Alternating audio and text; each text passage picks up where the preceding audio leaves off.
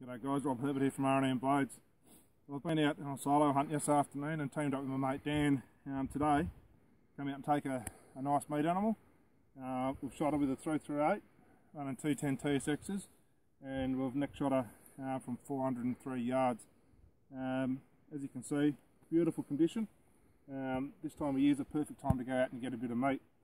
What I want to talk to you about today though is um, looking after your um, knife and how to best keep an edge on your knife um, while you're skinning out these deer.